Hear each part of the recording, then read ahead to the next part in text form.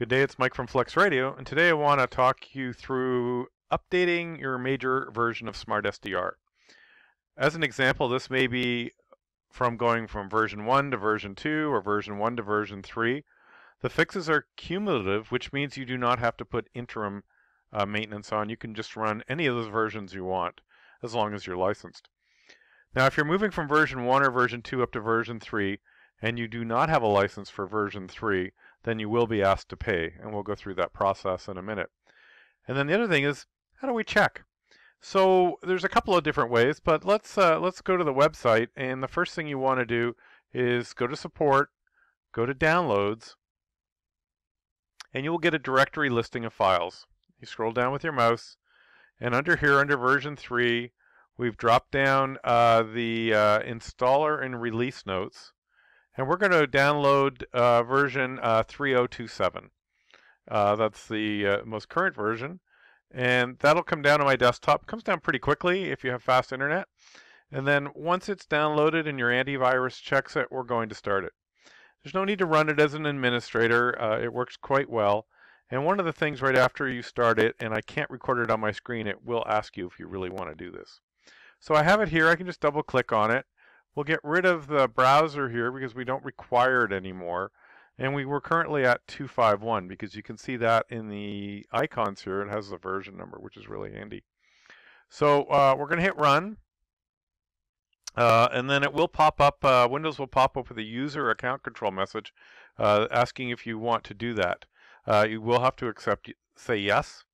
Accept the agreement. Please uh, read the license agreement. It's uh, rather critical. It's uh, you're agreeing to actually a legal document. It's only a few words. Won't take you very long. Uh, and then hit next. You'll see that this will install. Uh, we're using 3027 into its own directory. So this is like installing a whole new program.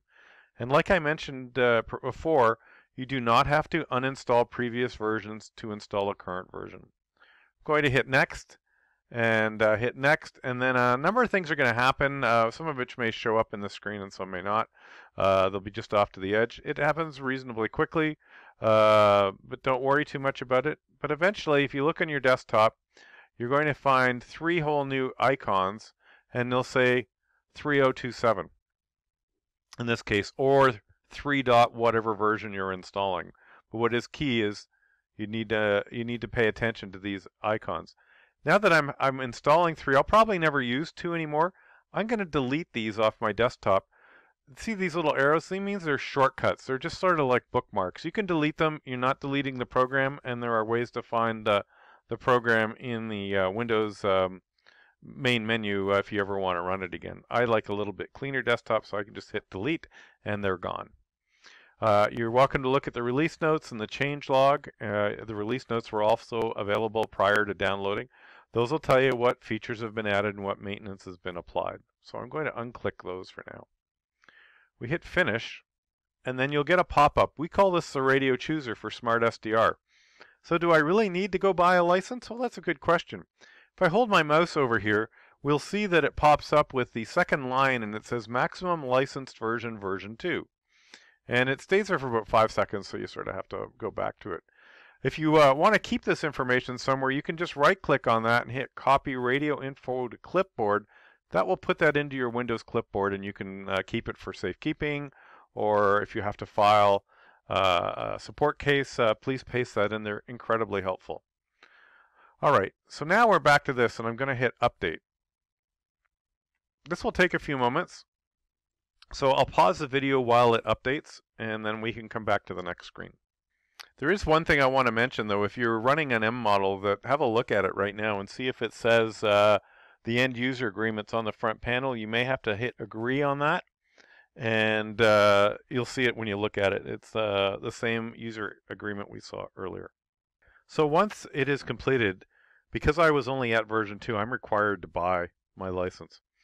Now, little caveat here if you're uh, if you already have a version 3 license and you uh, you know that and um, because of um, you bought it after October uh, 1st 2018 drop us an email and let us know and we'll look into that as well. But you can also get this message if your radio has never been plugged into the internet and you may want to watch my video on networking. If you're someone who has your radio, you've uh, never hooked it up to your router or your modem, or the LAN cable from the back of the radio is only correct, connected directly to your computer, it is possible to see this message. And I'm going to um, I'm going to mention that again in a few minutes. So well, I'll need to go buy version 3. And then that's going to take me to the store. And uh, let's bring that over here so you can see it. Uh, this is version 3. I'm going to proceed to checkout. And I'll have to enter all my own information. This is the only way to buy version 3. And uh, you will continue on like any uh, online purchase. And you can fill that all out. And then once that's done, we will be ready to move forward with um, uh, upgrading to version 3, which is like any other upgrade, but this is the uh, the buy part. And yes, it is 199. Uh, some countries in the, the, EU are required to uh, charge VAT tax. We do remit that back to them, and uh, the store is very accurate about uh, assessing taxes where required. So shortly after you pay for your version 3 or version whatever upgrade, the licensing serving process is all automatic, so it shouldn't take more than three or four minutes. If after about 10 minutes uh, you still see that your max license is version 2, there is a refresh button that is right here. Uh, just uh, click it and see if that solves the problem and it goes away. If it does not, as I mentioned earlier, you do need to make sure your radio is plugged into the internet or has internet access. One of the key ways to do that is if you hover your mouse over here, and this IP address here, where mine says 192.168.113, if those three digits start with 169, then we have a networking issue that you'll need to resolve. And that probably means that your radio is plugged directly into a laptop or a computer, and that the laptop or computer is connected to Wi-Fi to the internet. Uh, that will cause the licensing upgrade to fail, so be aware of that. If you own an M model, have a look at the front panel display. Hit the info button, and we'll see now that it says max version is licenses 3, which is great. And again, uh, so we'll clear that, and we're going to say operate. And when it comes up to operate, we're going to have this next step we have to do. We upgraded to 3027. We're going to go there. We're going to hit run. And uh, 3027 is going to have to install. This can take a moment or two. And once the radio has finished updating the front panel, you'll see that you can access the radio and use it normally. You're now welcome. You're now on version 3. And just to check, we can press the menu button and uh, we can see the station name. That's an editable field. You can call it whatever you want. Uh, our software version is now 3.027 and the radio serial number and then all the normal features. And if you haven't uh, seen this before, make sure you have a look at TX band settings. Uh, it's a great way to, to uh, control power and whether your amplifiers are keyed uh, on very specific bands. Pretty powerful tool. Uh, that's new. And then the other thing is multiflex down here, which is the multiple user interface, and that'll allow you to see who's connected. And as an example here, I'm going to go back over to um, my desktop and uh, start Smart SDR we'll uh, connect to it. Uh, you can see it here, and then we're going to go connect, and we'll see we're online there. And now we have two operators on, and we can see the same thing on um, the desktop. We'll bring that in there. We see both operators. So thanks for listening. That's uh, a version upgrade from uh, major version upgrade uh, talk through. So I hope you'll find that useful.